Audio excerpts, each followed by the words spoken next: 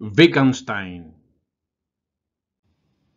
Hola amigos, soy Rafael Robles y en los próximos minutos vamos a hablar del filósofo Wittgenstein, un filósofo que fue evolucionando en su pensamiento, por eso tenemos un primer Wittgenstein y un segundo Wittgenstein, y es que el que no hace autocrítica, el que no cambia su pensamiento, no deja de ser un poquito cabezota.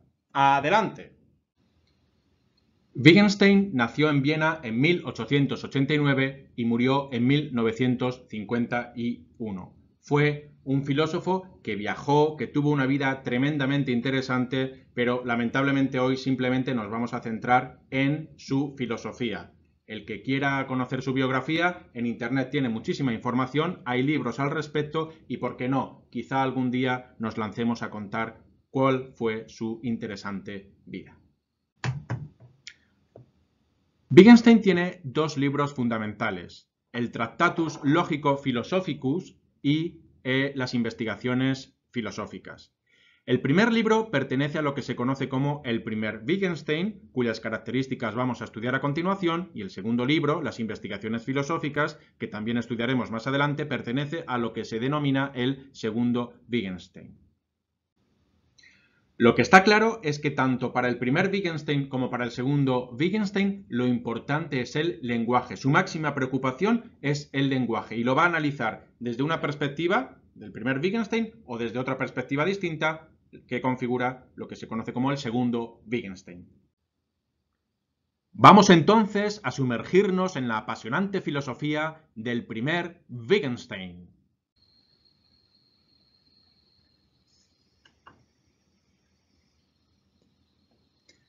Para Wittgenstein, el mundo constituye la totalidad de los hechos atómicos.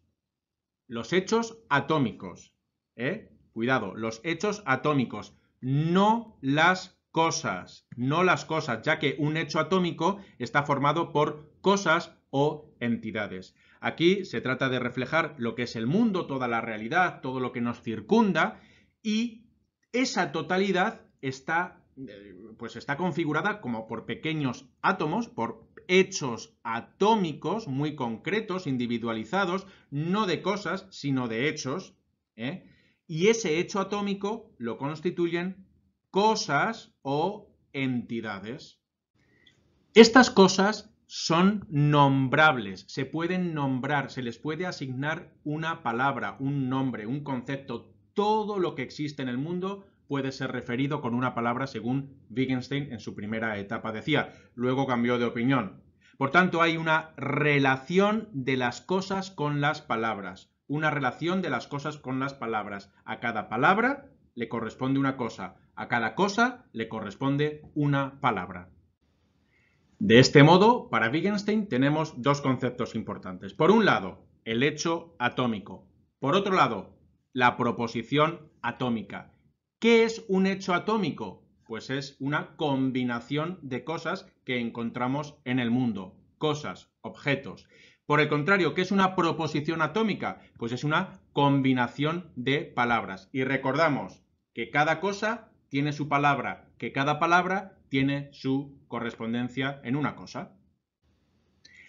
Es así que las proposiciones atómicas representan hechos atómicos. Las proposiciones atómicas, las palabras unidas, las palabras, corresponden a hechos atómicos, a cosas, una representación. Es decir, esto es lo que se conoce como la teoría de la pintura de Wittgenstein, una representación, una, un cuadro, una pintura. ¿eh? Las palabras hacen una pintura del mundo. Y es que el lenguaje es un mapa de la realidad.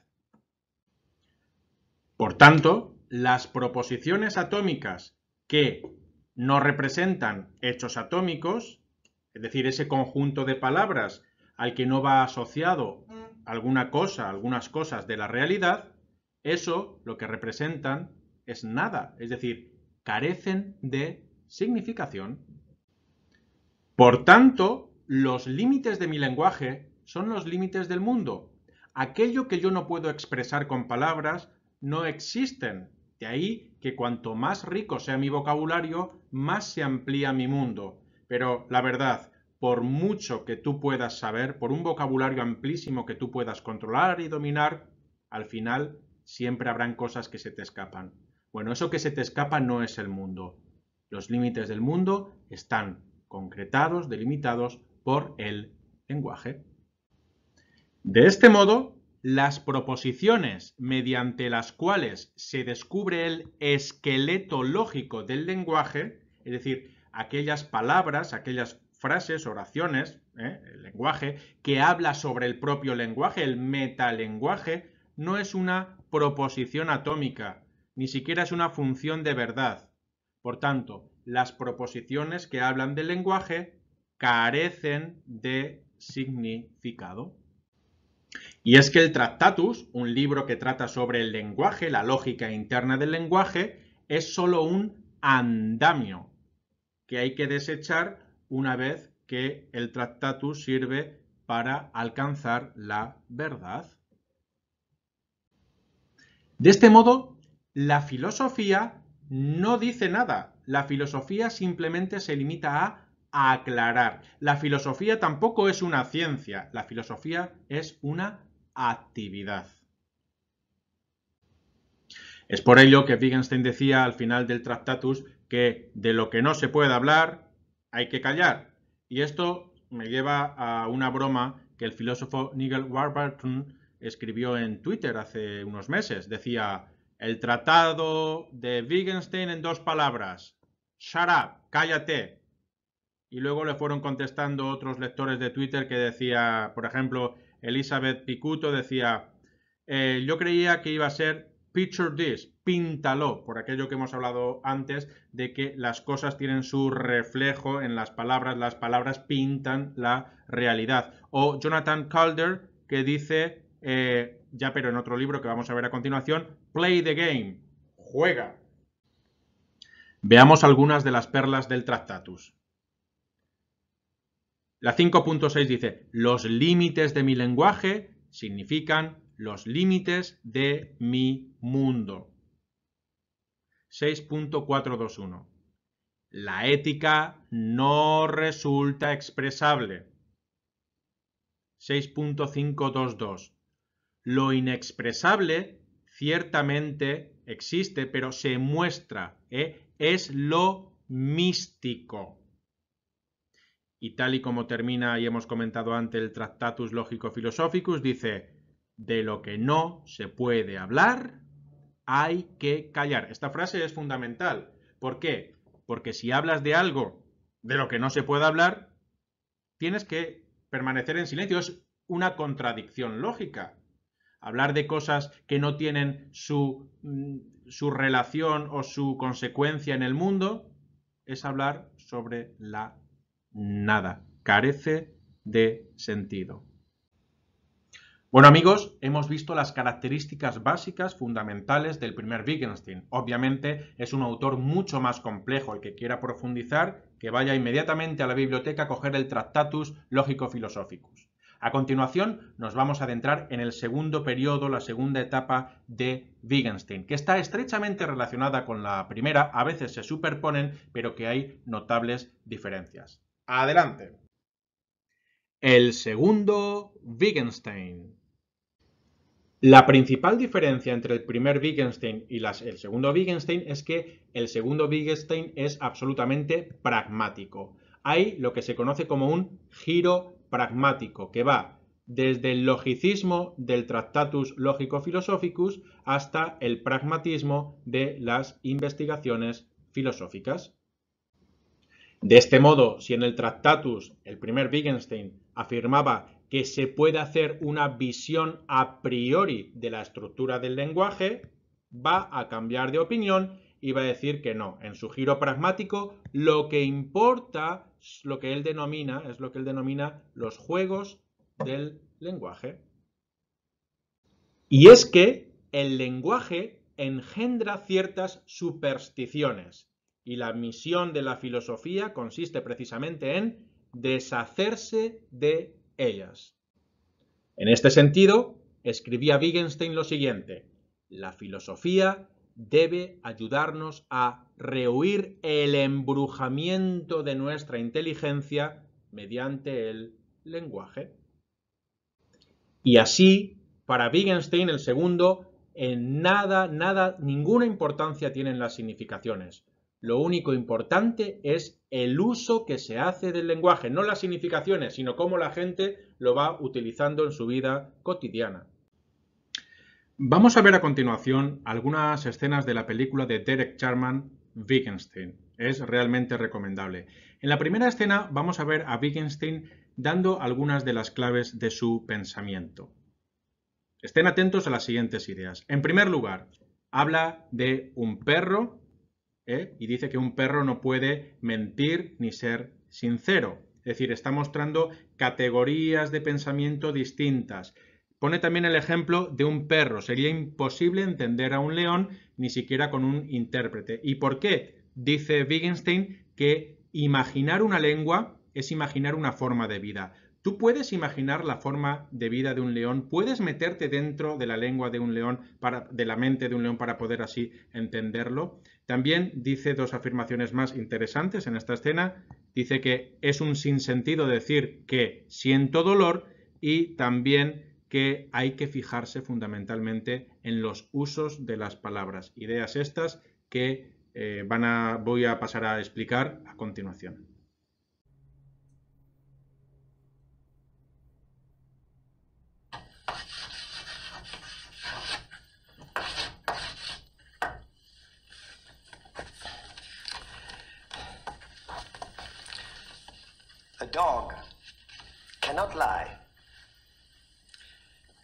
Neither can he be sincere.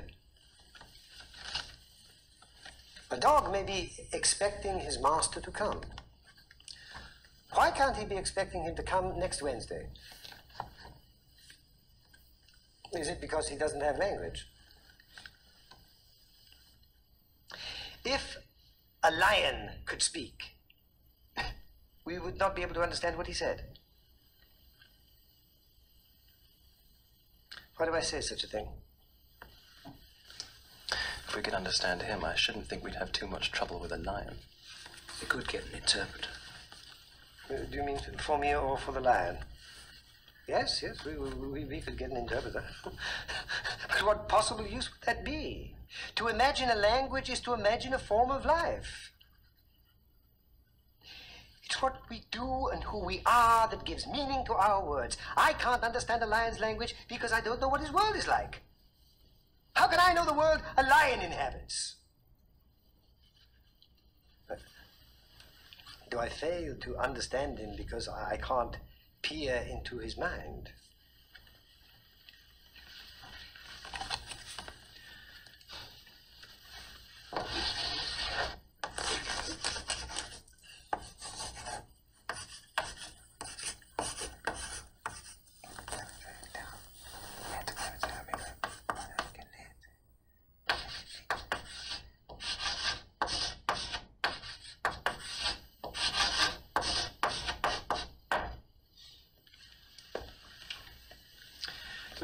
What's going on behind my words when I say, this is a very pleasant pineapple?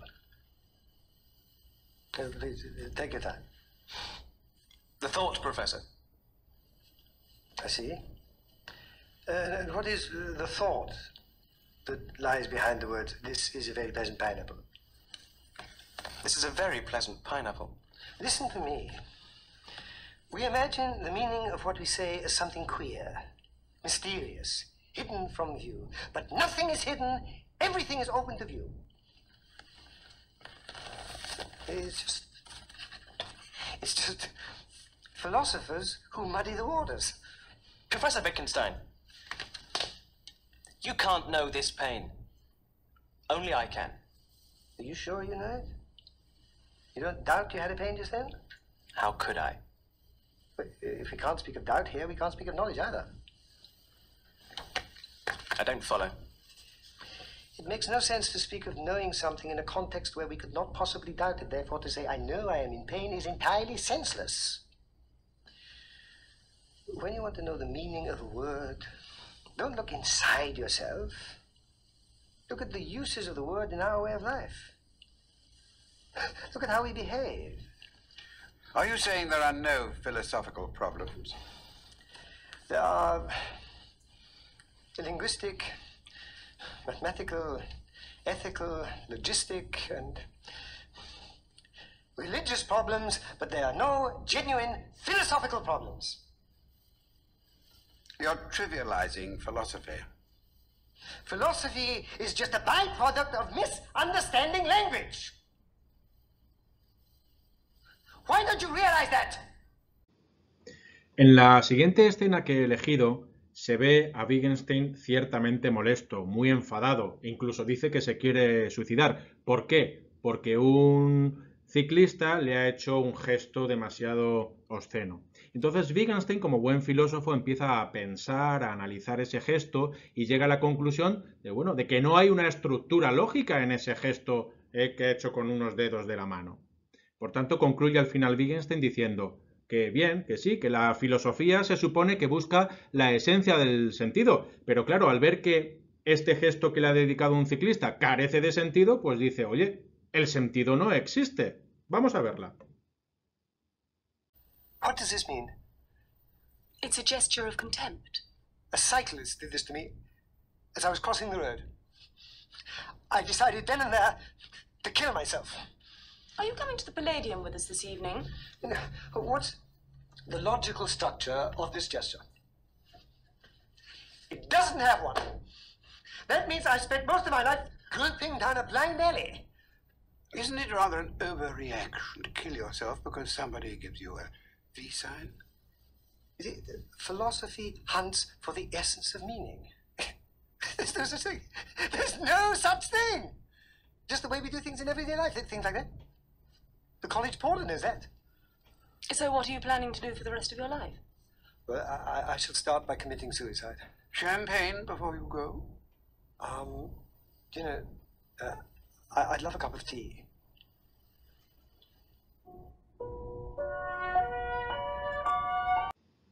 En la siguiente escena volvemos a ver a Wittgenstein hablando con sus discípulos y con su maestro Bertrand Russell, el hombre del pelo blanco, el conocido e importante premio Nobel, filósofo Bertrand Russell, y en él bueno, aparece el primer Wittgenstein con su pensamiento los límites de mi lenguaje son los límites de mi mundo que hemos comentado antes, y es que a veces se superponen, no está tan definida la diferencia entre el primero y el segundo Wittgenstein. Hay diferencias notables, obviamente, pero a veces hay cauces eh, que interrelacionan ambos Wittgenstein, como se da en este caso. Y después eh, también vemos como uno de los discípulos pregunta, eh, bueno, ¿y cómo sabemos que la Tierra es la que da vueltas alrededor del Sol?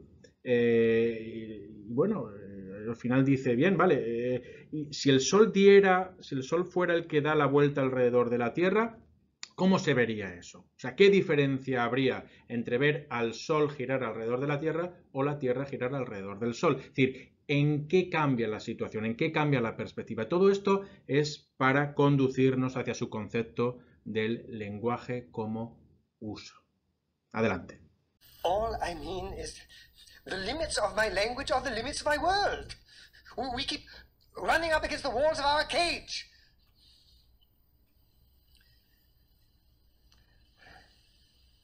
Uh, I'm terribly sorry. You, you, you have a worthless teacher today. I, I'm all cleaned up. Please forgive me. It was quite masterly. It was frightful. I don't know. Made me feel like a vegetable. How could it possibly? It doesn't feel like anything to be a vegetable. Hmm. I just can't see it, Professor. It somehow just seems natural to me to say, I know I'm in pain. Oh, natural. Tell me, why does it seem more natural for people to believe that the sun goes around the earth rather than the other way around? Well, obviously, because it looks that way. I see. And uh, how would it look if the earth went around the sun? Um, well, I suppose. yes. I see what you mean. En la última escena que quiero compartir con ustedes, van a ver a Wittgenstein ya claramente eh, explicando su segunda visión, su segunda parte, es claramente el segundo Wittgenstein, porque le preguntan acerca de su libro Las investigaciones filosóficas. Y en él explica Wittgenstein que, se arrepiente, que es una tontería lo que dijo en el Tractatus, que eso de que hay una relación entre la palabra, eh, la pintura, la relación entre la palabra y la cosa es falsa. Por ejemplo, lo descubre y lo dice en esta escena con expresiones como hola o con exclamaciones como maldita sea. Es decir, ¿qué cosa es eso, ese maldita sea? Es decir, tenemos la palabra, pero ¿dónde está la cosa que está pintando eh, en esas palabras? Obviamente no existe y lo que va a concluir es eso, que el lenguaje, lo analizaremos, lo analizaremos ahora mismo, el lenguaje es un juego, son los juegos del lenguaje, el uso es lo importante. In fact, I, I still think so, but, but for four different reasons. We're now talking about your more recent work, the philosophical investigations and so on. That's right. In this later work, I abandon the idea that language is a sort of picture. That's just a, a misleading metaphor. I mean, you might say that the word handbag is a picture of a handbag. But what about words like hello, perhaps, oh hell? What do- do they give us a picture of? So, how would you now define the relationship between language and the world? Oh, in lots of different ways. My mistake had been to think that there was only one way of talking at stake here. I came to see that there are lots of different things we do with language, different language games, as I call them. And the meaning of the word is just the way it's used in a particular language game. And what do you now believe the task of philosophy to be? Philosophical puzzles arise because we tend to mix up one language game with another. For example, people puzzle over the nature of something they call the soul. But this may just be because they're thinking of the soul along the lines of a physical object. They're confusing one way of talking with another. The job of philosophy is to sort out these language games? Exactly. Well, they're all perfectly in order as they are. Uh, philosophy, in no sense, can question them. Philosophy leaves everything exactly as it is. Professor Wittgenstein, you've been associated with the argument that there can't be a private language. Could you explain this a little? What I mean is this we learn to use words because we belong to a culture, a form of life, a practical way of doing things. In the end, we speak as we do because of what we do. And all this is a properly public affair. Philosophers in the tradition of Descartes start from the lonely self, brooding over its private sensations.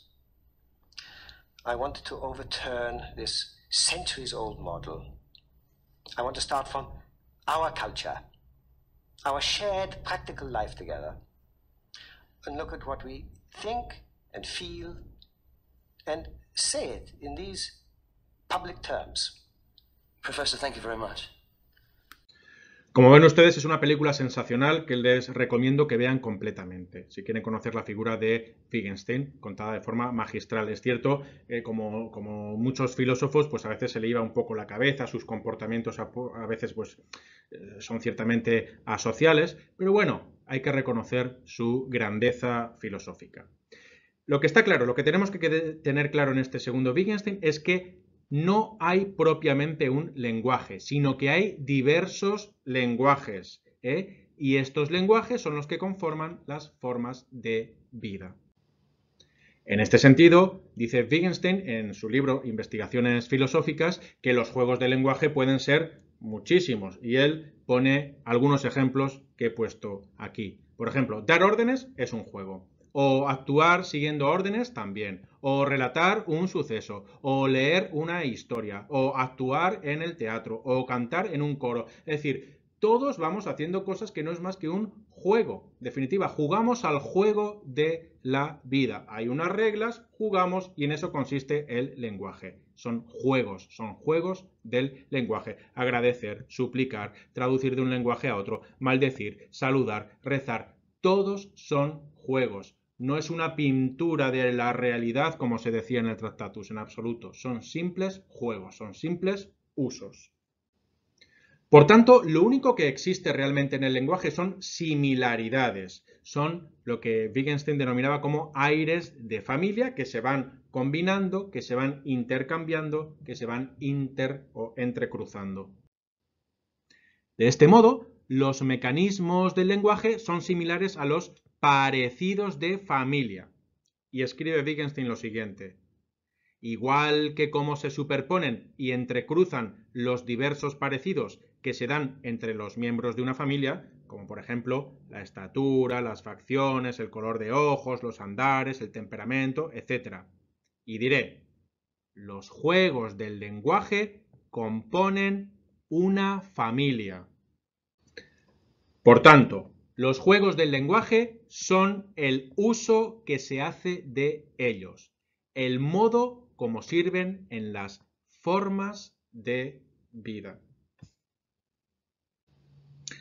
Y es así que, eh, por ejemplo, preguntarse qué hora es, pues es una pregunta normal. ¿Qué hora es? Bueno, pues son las tres y cuarto, la hora que sea. No causa ningún tipo de perplejidad. Pero sin embargo, cuando empezamos a plantearnos cuestiones más filosóficas, como por ejemplo, eh, cuál es la naturaleza del tiempo, ahí ya nos sentimos despistados, confundidos, y lo único que podemos hacer, la única salida es liberarse, dice Wittgenstein, de la superstición. Al contrario de lo que Wittgenstein decía en el Tractatus, el segundo Wittgenstein no cree que las cuestiones filosóficas no tienen significación. Es decir, ahora sí, las cuestiones filosóficas sí que tienen significación. Porque, según Wittgenstein, si no tuvieran esta significación, carecerían de todo poder de embrujamiento. Y es que la filosofía embruja. Permítanme aclarar esto. En primer lugar, Wittgenstein cree que las cuestiones filosóficas siempre surgen del lenguaje, no pueden surgir de ningún otro tipo. Pero, aunque surjan del lenguaje, no son cuestiones lingüísticas. Son cuestiones acerca de realidades que nos producen mucha confusión porque no sabemos cómo tratarlos adecuadamente. Nos deja, en cierta manera, como embrujados.